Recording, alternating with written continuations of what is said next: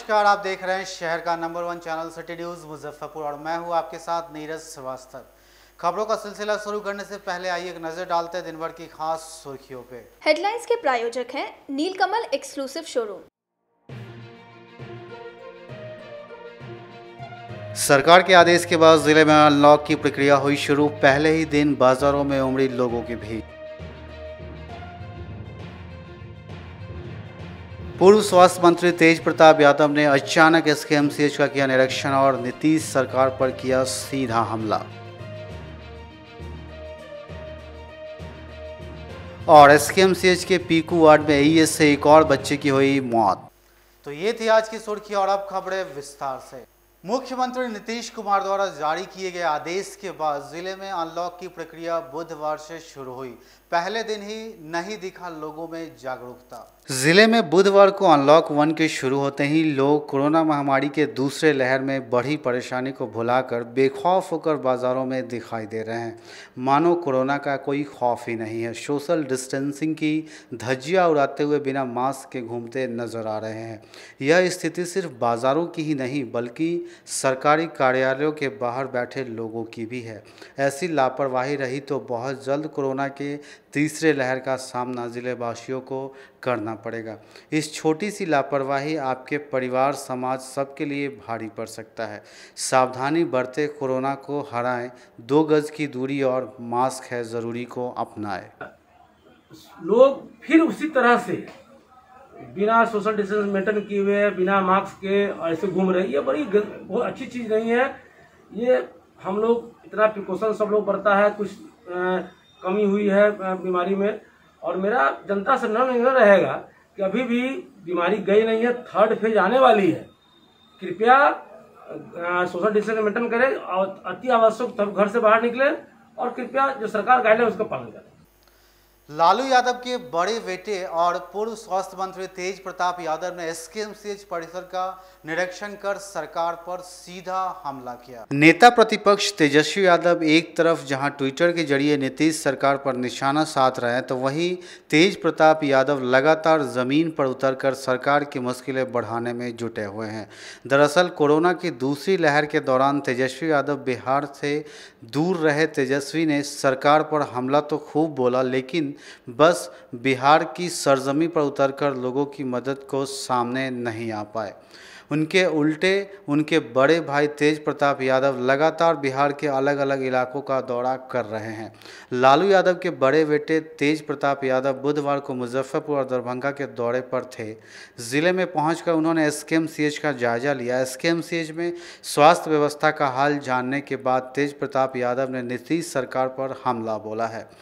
तेज प्रताप ने कहा कि सूबे में स्वास्थ्य व्यवस्था दुरुस्त रखने का सारा दावा झूठा है और नीतीश सरकार को अपने झूठ के लिए इस्तीफा दे देना चाहिए। तेज प्रताप यादव ने एसकेएमसीएच में मरीजों और उनके परिजनों से मुलाकात कर हालचाल भी जाना। थोड़ी देर तक यहाँ रहने के बाद तेज प्रताप तो वहाँ से रवाना हो गए। तेज प्रताप यादव जिस वक्त एसकेएमसीएच पहुँचे, उस वक्त वहाँ उनकी पार्टी के सैकड़ों कार्यकर्ताओं और समर्थकों की भीड़ इकट्ठा हो गई। हालात ऐसे हो गए कि एसकेएमसीएच के अधीक्षक को भी हटाने के लिए चेतावनी तक देनी पड़ी। उन्होंने माइक से लगातार अनाउंस करते हुए कहा कि लोग अस्पताल में भीड़ ना लगाएँ और शांति व्यवस्था को बहाल रखें। सोशल डिस्टेंसिंग और कोविड 19 प्रोटोकॉल का पालन करने के लिए अधीक्षक बार बार अपील कर रहे थे। स्वास्थ्य मंत्री और राजद के नेता तेज प्रताप यादव आज मुजफ्फरपुर के एसकेएमसीएच पहुँचे थे। लगातार एसकेएमसीएच में शिकायत मिल रही थी कि इलाज के नाम पर सिर्फ़ खानापूर्ति की जा रही है, जिसके बाद आज तेज प्रताप मुजफ्फरपुर पहुँचे और जहाँ उन्होंने एसकेएमसीएच के सभी डॉक्टरों के साथ बैठक कर सभी वार्डों का निरीक्षण किया। इस दौरान उन्होंने मरीज़ के परिजनों से भी बात किया। मीडिया से बातचीत करते हुए उन्होंने एसकेएमसीएच में हो रहे इलाज पर कई सवाल खड़ा किए। इस दौरान नेता राजद तेज प्रताप यादव के जो समर्थक से वो कोविड प्रोटोकॉल के नियम को ताक पर रखकर धजिया उड़ाते दिखे। उनके साथ लगभग सैकड़ों समर्थक जो कि कोविड नियम है, उनको भूलते हुए सभी वार्डों में घूमते नज़र आए। वो कोरोना वार्ड हो तब, चाहे पीकू वार्ड हो तब। मीडिया से उन्होंने बातचीत में क्या कुछ कहा, आप भी सुने। ये कोरोना के दौरान हम यहाँ अस्पताल निरीक्षण कर रहे हैं और पिछले बार हमने हाजीपुर, महुआ और अपना विधानसभा जो क्षेत्र है, वहाँ दौरा करने का काम किया। अब बहुत पूरे अस्पतालों का जो समस्या है और यहाँ पे अभी हमने मुजफ्फरपुर में यहाँ इसके सी को हमने देखने का काम किया। तो यहाँ पे हमने पाया कि डॉक्टरों का पूरे तरीके से अभाव है। तो हम सरकार से मांग करते हैं कि डॉक्टर को फुलफिल किया जाए, भरा जाए।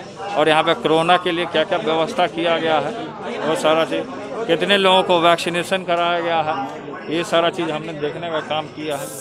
लेकिन पूरे तरीके से कहीं ना कहीं, और जो यहाँ पे जो कोरोना काल में भी जो आशा की जो वर्कर हैं, जो अभी हमसे जो कुछ महिलाएँ जो अस्पतालों में जो काम कर रही हैं, जो कॉन्ट्रैक्ट बेसिस पे हैं, उनको वेतन नहीं दिया गया। क्योंकि कोरोना काल में असली वॉरियर जो हैं, वो वो लोग हैं। तो हम ये सरकार से मांग करने का काम करते हैं कि डॉक्टरों का पूरे तरीके से अभाव है। अब तो देख लीजिए बिल्डिंग नई बिल्डिंग जो बनी हुई है, उसमें भी हमने देखने का काम किया। तो बिल्डिंग तो है स्ट्रक्चर है, लेकिन उसमें मैनेजमेंट नहीं। सही तरीके का मैनेजमेंट सही हो। परिजनों से हमने बात किया था, परिजन बोले हैं कि, सर, आप आते हैं तो व्यवस्था हो जाता है। आप चले जाते हैं तो व्यवस्था खराब हो जाती है। तो ये सरकार को सरकार को व्यवस्था का तो सरकार से मांग करते हैं कि ब्लैक फंगस हो या किसी भी तरीके का डिज़ीज़ हो या किसी भी तरीके का बीमारी हो तो सरकार को इलाज ने सुना कि किस तरीके से पूर्व स्वास्थ्य मंत्री, सरकार और एस प्रशासन पर कई सवाल खड़ा किए। साथ ही उन्होंने अपने समर्थकों के साथ कोविड प्रोटोकॉल के नियम की धज्जियाँ उड़ाते इसी एस में दिखे। अब सवाल यह खड़ा होता है कि क्या ऐसे ही इस कोरोना महामारी से लड़ा जा सकता है? जब हमने इस मामले पर एस अधीक्षक बी ए झा से बातचीत करने की कोशिश की तो उन्होंने नाराज़गी जताते हुए साफ़ कहा कि मेरे द्वारा कहीं से कोई परमिशन नहीं दिया गया था। सिर्फ़ एक नोटिफिकेशन उनको व्हाट्सएप पे मिला था कि आज तेज प्रताप यादव मुजफ्फरपुर के एस आ रहे हैं। सुनिए एस अधीक्षक बी एस झा ने क्या कुछ कहा? और जो आते हैं माननीय हैं विधानसभा के सदस्य हैं उन्हें अपने समर्थकों को दूर रखना चाहिए अस्पताल में इतने लोगों के साथ घुस जाना आ, किसी भी तरह से अच्छा नहीं है। ये प्रोटोकॉल में भी नहीं आता है कोरोना अभी गया नहीं है हम अभी सारे चीज़ को रिस्ट्रिक्ट किए हुए हैं। वगैरह भी चल रहा था पहले से आप भी करना पड़ा कोई असर नहीं दिखा। क्या कार्रवाई वगैरह कुछ लिखेंगे क्या? उल्लंघन है? नहीं, हम अभी इसके बारे में तो नहीं सोचे हैं। फिर देखते हैं कैसा कर रहे हैं। हम इस संस्थान में किसी को आने के लिए कोई अनुमति नहीं देते हैं। यद्यपि उनके आने की मुझे सूचना मिली थी, लेकिन हमको इस तरह के कार्यक्रम के लिए कोई उन्होंने अनुमति नहीं मांगा था। लेकिन हम आएँगे, ऐसी सूचना मुझे व्हाट्सएप पर दी गई थी। मुझे दुख हुआ कि मेरे चैम्बर, मेरे अस्पताल में अप्रत्याशित भीड़ समर्थकों को लेके हमने खुद माइकिंग किया, लेकिन अनुमति मेरे स्तर से तो नहीं है। उन्होंने जिज्ञासा ज़ाहिर की कि हम जाएँगे तो मैंने उन्हें कहा कि आप मेरे साथ चल सकते हैं, लेकिन जिस तरह से भीड़ गई, वो अच्छी नहीं थी। शहर के जल जमाव की समस्या को लेकर निगम सभागार में मेयर सुरेश कुमार और नगर आयुक्त ने संयुक्त रूप से निगम कर्मियों के साथ तीसरे दिन भी अहम बैठक की।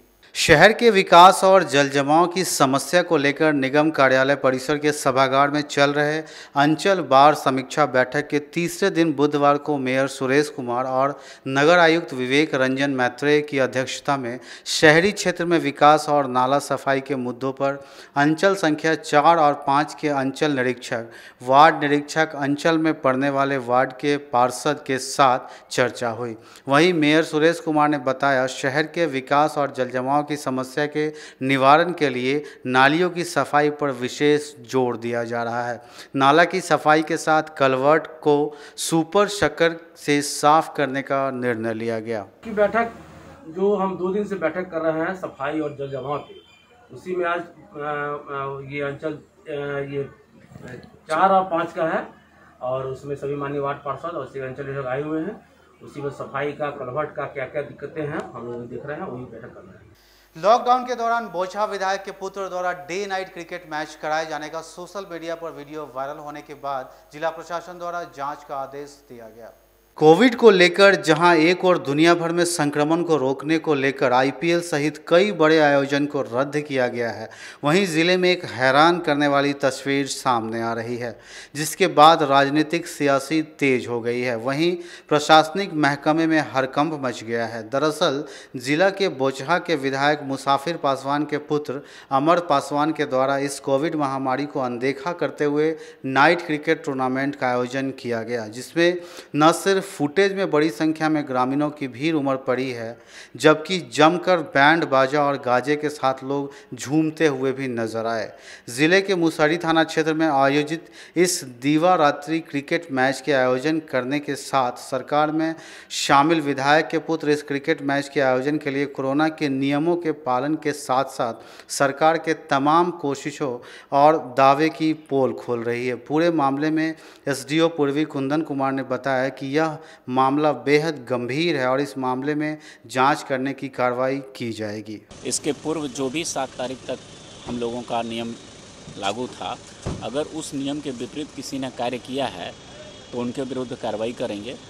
ये तथ्य अभी तक मेरे समक्ष नहीं आया है। हम आपसे, आप लोगों से अनुरोध करेंगे कि अगर ऐसा कोई साक्ष्य है तो निश्चित रूप से उनके आयोजकों के विरुद्ध जो लॉकडाउन उल्लंघन का कार्रवाई होता है, वो किया जाएगा। सिटी न्यूज़ में फ़िलहाल वक्त हो चला एक छोटे से ब्रेक का तो फ़ौरन हाजिर होते हैं, कहीं मत जाइए।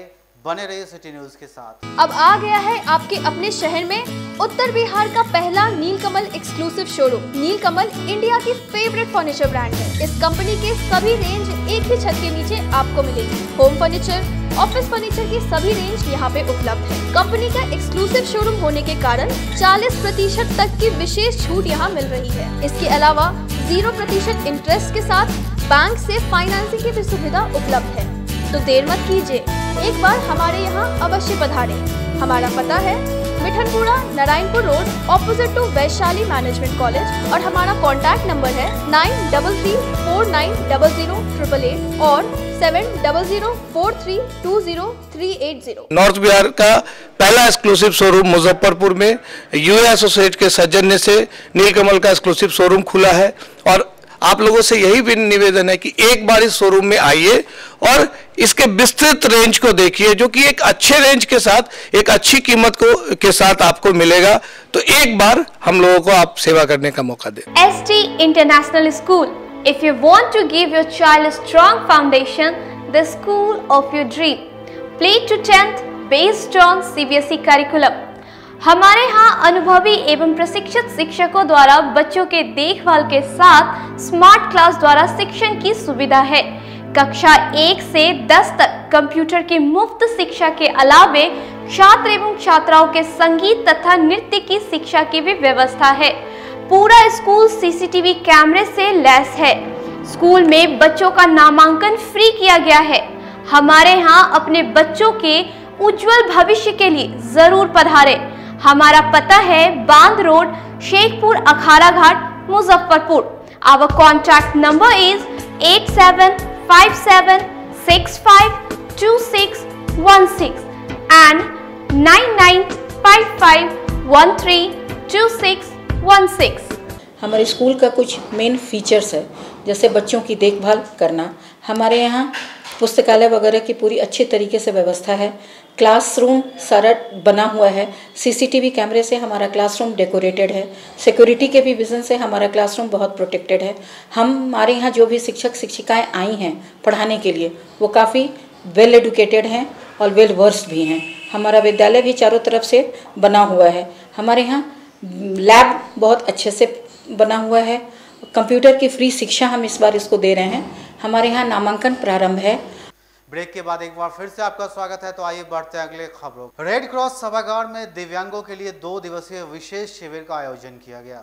से जिला स्वास्थ्य समिति के द्वारा दिव्यांगों के लिए रेड क्रॉस के सभागार में बुधवार को दो दिवसीय विशेष शिविर का आयोजन किया गया है। पिछले विधानसभा चुनाव में जिला आइकॉन रहे अभ्युदय शरण के नेतृत्व में दिव्यांगजनों ने शिविर में आकर टीकाकरण कराया है। वहीं टीकाकरण को बढ़ावा देने के लिए जिला प्रशासन की इस पहल को दिव्यांगों ने काफ़ी सराहा है। रेड क्रॉस के प्रतिबंधक पुष्कर विद्यार्थी ने बताया कि रेड क्रॉस में लगातार कोरोना टीकाकरण पर काम हो रहा है। इस दो दिवसीय विशेष शिविर के पहले दिन टीकाकरण में दिव्यांगों की संख्या कम है। इस वैश्विक महामारी से बचाव के लिए टीकाकरण ज़रूरी है। और सरकार के द्वारा दो दिन का कैंप लगाया गया है स्पेशल जिसमें उन लोगों को कोविड वैक्सीनेशन करना है। और हम आप लोगों से भी आग्रह करेंगे कि जितने भी, भी विकलांग हैं दिव्यांग हैं वो सभी आकर के यहाँ उसका फ़ायदा उठावें। नौ तारीख और दस तारीख। जो लोग तक हमारी आवाज़ पहुँच रही होगी उस सब लोगों से अपील है कि वैक्सीन लेना अनिवार्य है। सभी लोग वैक्सीन लें। किस वैक्सीनेशन सेंटर पे दिया जाना ये रेड क्रॉस में ये सुविधा दिया गया है नौ तारीख और दस तारीख को। एसकेएमसीएच के पीकू वार्ड में एईएस से एक और बच्चे की मौत हो गई। मृत बच्चा शिवहर ज़िले का रहने वाला है। कोरोना के बीच ज़िले और उसके आसपास के ज़िलों में तापमान बढ़ने के साथ एक बार फिर चमकी बुखार का कहर शुरू हो चुका है। और अब एक और बच्चे की चमकी बुखार से मौत हो गई। वहीं अब तक इस वर्ष छः बच्चों की मौत हो चुकी है। दरअसल, पिछले कुछ दिनों से चमकी बुखार से पीड़ित कई संदिग्ध बच्चों को गंभीर हालत में एस के पीकू वार्ड में भर्ती कराया गया है। ताज़ा जानकारी के अनुसार, शिवहर के बच्चे की चमकी बुखार से मौत हो गई, जिसका इलाज इलाज एस में चल रहा था। वहीं एस के पीकू वार्ड में फ़िलहाल चार बच्चे भर्ती है, जिसमें दो बच्चे में ए की पुष्टि हुई है। वहीं चमकी बुखार के लक्षण वाले दो अन्य सस्पेक्टेड बच्चे भी भर्ती हुए हैं, जिनका फ़िलहाल एस के पीकू वार्ड में इलाज चल रहा है। साथ ही बता दें कि जिला प्रशासन चमकी बुखार को लेकर जागरूकता अभियान ग्रामीण क्षेत्रों में चला रहा है। वहीं अधिकारी हर सप्ताह में अपने क्षेत्र में जागरूकता का कार्यक्रम करते हैं। गौरतलब है कि इस वर्ष अभी तक 28 बच्चों में एईएस की पुष्टि हो चुकी है, जिसमें से छः बच्चों की इलाज के दौरान मौत भी हो चुकी है। मामले की पुष्टि करते हुए एस के अधीक्षक सह शिशु विभागाध्यक्ष डॉक्टर गोपाल शंकर सहनी ने बताया कि चमकी से लड़ने के लिए हम लोग पूरी तरह से अलर्ट हैं। एईएस से इस वर्ष अब तक छः बच्चों की मौत हो चुकी है, जबकि 28 बच्चे भर्ती हुए हैं। मेरे साथ S K M C H उपाधीक्षक डॉक्टर गोपाल शंकर सनी हैं। उन्हीं से बात करने की कोशिश करते हैं और जानने की कोशिश करते हैं कि सर, इस बार क्या अभी तक क्या अपडेट है इसमें? अभी तक अपडेट में तो जनवरी महीना से लेकर अभी तक में टोटल 28 बच्चे एस की पुष्टि होकर यहाँ हुए हैं और 28 में छः बच्चे की डेथ हुई है। लास्ट डेथ कल रात में मतलब अर्ली मॉर्निंग कह सकते हैं, वो शिवहर से आया था बच्चा, तीन साल का बच्चा था, वो शिवहर के थ्रू रविवार को भर्ती हुआ था। और उसमें हाइपोग्लाइसीमिया थे लो ब्लड शुगर का था तो हम लोगों ने बहुत अथक प्रयास किया लेकिन हम लोग को भी अफसोस है कि उसको हम लोग नहीं बचा पाए और उसको कल रात में ही डेथ हो गई है।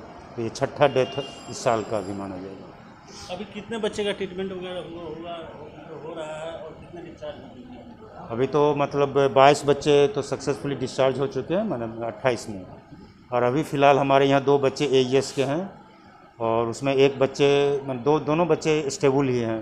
और अभी दो बच्चे संदिग्ध ए एस के हालत में भर्ती हैं। उनका भी हम लोग टोटल टेस्ट वगैरह करवा रहे हैं blood test C S F तो वो सब रिपोर्ट आने के बाद फाइनली फिर उसको ए एस में लाइन लिस्टिंग में डाला जाएगा। तो अभी दो बच्चे भर्ती हैं ए एस के आज के डेट में। जिला प्रशासन और स्वास्थ्य विभाग के द्वारा लगातार जागरूकता अभियान निकाला जा रहा है। इसको लेकर क्या असर ज़िले में देखने को मिल रहा है? हाँ बहुत अच्छा। ये तो पॉजिटिव एटीट्यूड भी है और पॉजिटिव रिज़ल्ट भी हम लोग को मिल रहा है। बेसिकली ये बीमारी को इसी बेसिस पर ही कम किया जा सकता है। जागरूकता, जितनी अच्छी जागरूकता होगी, बीमारी का इंसिडेंस उतना ही कम होगा। अभी जागरूकता का अभियान के तहत मैंने अभी डीएम साहब के यहाँ गया था तो वहाँ एक रथ अभी विदा किया गया, चमकी को धमकी का। तो ये बहुत अच्छा काम कर रहे हैं, लोग अवेयरनेस भी हो रहे हैं, लोग को सब पता चल रहा है कि ये चमकी बुखार क्या होता है, होने पर हमको कहाँ जाना है और इससे बचाव क्या करना है, बच्चे को कैसे रखना है दिन भर बच्चे को नज़र पर रखना है, धूप में नहीं खेलने देना है शाम में उसको खिला के सुलाना है। और सुबह में चूँकि ये बीमारी का कहर रहता है, इसलिए सुबह में थोड़ा अलर्ट भी रहना है। और जैसे कुछ बीमारी हो तो अभिभावक लोग तुरंत नियरेस्ट हॉस्पिटल में जाते हैं, क्योंकि हमारे यहाँ रेफरल जो केस आते हैं, हम लोग उनका पूरा इतिहास हिस्ट्री लेते हैं तो बहुत खुशी मिलती है कि पब्लिक जागरूक हैं। क्योंकि जैसे सिम्टम होता है, वो नियरेस्ट के पीएससी में जाते हैं। पीएससी में उसको इलाज करके स्टेबलाइज करते हैं, उसके बाद यहाँ रेफर करते हैं। इसलिए जागरूकता अभियान तो बहुत कारगर है, ऐसे इंसिडेंस भी घटा हुआ है। क्या क्या बच्चे को, परिजन को क्या क्या सावधानियाँ बरतने की ज़रूरत सावधानी में वही कि जब तक गर्मी उमस की मौसम है, कम से कम एक महीना तो रहेंगे ही। उस पीरियड में कुछ एक्स्ट्रा कॉशस नहीं, बच्चे को ध्यान देना है, धूप में नहीं खेलने देना है और दिन भर कुछ लिक्विड डाइट पेय पदार्थ उसको जैसे कि ओ एस का घोल पिलाए, नींबू पानी पिलाए, नारियल का पानी भी पिला सकते हैं और रेगुलर इंटरवल पर खाना भी देना है। और दो इंपॉर्टेंट है कि रात में ज़रूर उसको खाना खिला के सुलाना है और सुबह अर्ली मॉर्निंग में को बच्चे पर ज़रूर ध्यान देना है। अगर बच्चे सोए भी हैं तो उसको उठा के देखना है कि कहीं बच्चा तो बेहोश तो नहीं है। तो ये दो इम्पोर्टेंट बात अभिभावक को कहना मैं चाहूँगा। चमकी गर्मी शुरू होते ही चमकी दस्तक देना शुरू करें। स्वास्थ्य विभाग की क्या कुछ तैयारी है? स्वास्थ्य विभाग की पूरी तैयारी रहती है और हम लोग करीब करीब फरवरी महीना से ही पूरी तैयार कर लेते हैं। और हम लोग के पास इंफ्रास्ट्रक्चर की कोई कमी नहीं है। हंड्रेड टू बेडेड का पिकू अस्पताल है और हम लोग फरवरी महीना में टोटल ड्रग्स हम लोग ने पटना से B M S L through से मंगवा लिया है। इसलिए हमारा इंफ्रास्ट्रक्चर मौजूद हैं ड्रग्स भी मौजूद हैं डॉक्टर्स भी मौजूद हैं और फॉर्चुनेटली अभी हम लोग को एक जून से दस डॉक्टर की पोस्टिंग भी हुई है डिप्टेशन के बेसिस पर। पाँच डॉक्टर नालंदा से आए हैं, पाँच डॉक्टर पीएमसीएस से आए हुए हैं। तो हम लोग डॉक्टर की भी अब कमी नहीं रह गई तो बिल्कुल ये थे S K M C H अधीक्षक डॉक्टर गोपाल शंकर सनी। इन्होंने साफ़ तौर पे जो बच्चे हैं उनके परिजनों से अपील करते हुए बताया कि इस वर्ष अब तक छः बच्चे की मौत हुई है, जबकि 28 बच्चे भर्ती हुए हैं 22 बच्चे स्वस्थ होकर घर लौट गए हैं, जबकि दो बच्चे का इलाज चल रहा है। मैं अपने सहयोगी विकास के साथ सोनू शर्मा, सिटी न्यूज़, मुजफ्फरपुर। इस समाचार के प्रायोजक हैं आवासीय भारतीय इंटरनेशनल स्कूल। समारणालय परिसर से चमकी बुखार जागरूकता रथ को जिलाधिकारी ने हरी झंडी दिखाकर शहरी क्षेत्र के लिए रवाना किया। ज़िले में चमकी बुखार पर प्रभावी नियंत्रण को लेकर जिला प्रशासन और स्वास्थ्य विभाग के द्वारा लगातार प्रचार प्रसार जारी है।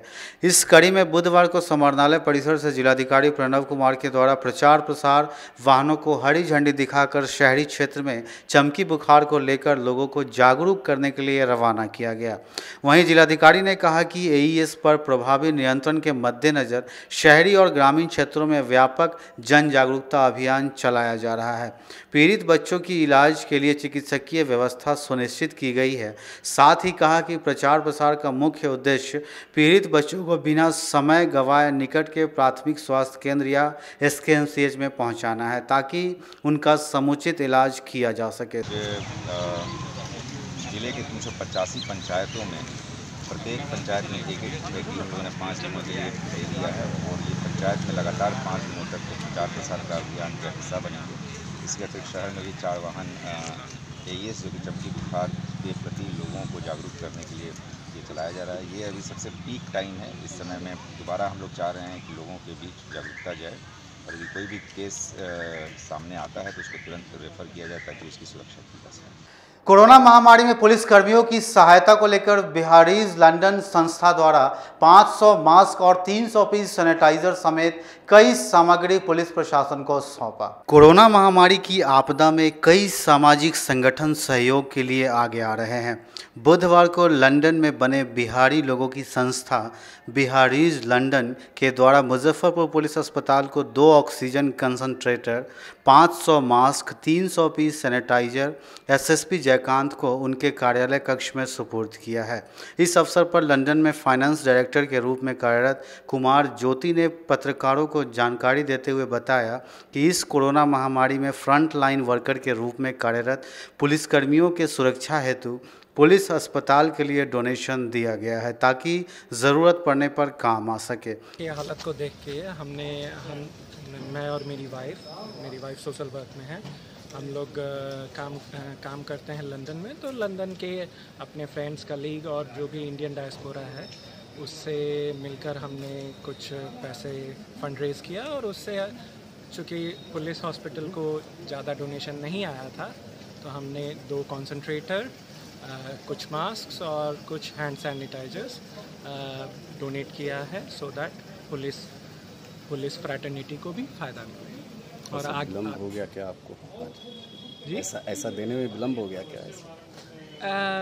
विलम्ब तो थोड़ा हो गया मैं समझ सकता हूँ क्योंकि हमारा भी सोच यही था कि जब सेकेंड वेव पीक पे था तब हम दे पाए बट दे रहा है दुरुस्त है और बिहार में मेडिकल इंफ्रास्ट्रक्चर की हालत हम लोग सब जानते हैं तो जो भी देंगे उससे आगे चल के कुछ ना कुछ फ़ायदा ज़रूर होगा। आज की खबरों में फ़िलहाल इतना ही तो कल फिर मिलेंगे कुछ नई खबरों के साथ। तब तक के लिए इजाज़त दीजिए हमारी पूरी न्यूज़ टीम को।